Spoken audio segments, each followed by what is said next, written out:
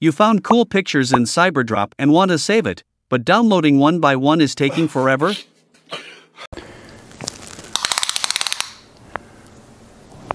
That's quite big. Don't worry. I have a tool that can download all the pictures and videos at once. It's called Cyberdrop Downloader. I will show you how to use it. Before we started, make sure to install the latest Python programming language, because the Cyberdrop Downloader tool requires it. Click the download link below, in the video description. Click the download button. Click the downloaded file to run the installation. Make sure to tick Add Python.exe to Path option. And then click Install Now.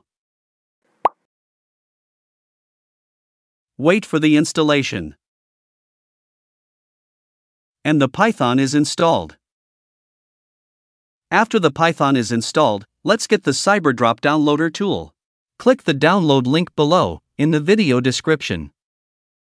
Scroll down, click the cyberdrop underscore dl.zip file. After downloaded, create a new folder somewhere. For example, in the desktop. Rename the folder to CBDL or download tool or whatever you want. Now, search the downloaded file. Extract the file to the created folder. Click Extract All. Find the created folder. Select the folder. Click Extract. If you see like this, it means the Cyberdrop downloader tool has been extracted to the folder.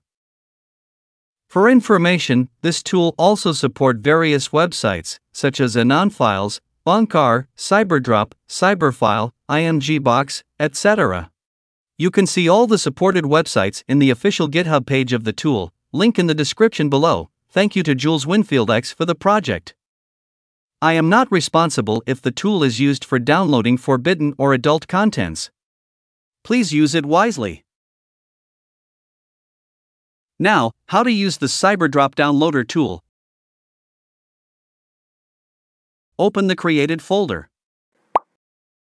Click the file named urls.txt.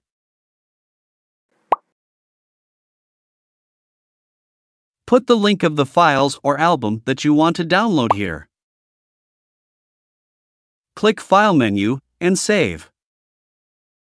Close the text file.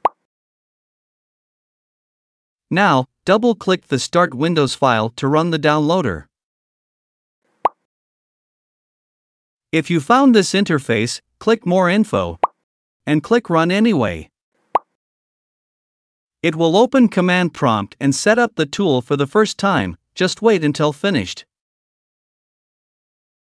After finished, this interface will show, which means it start downloading the files, you can see the progress at the bottom.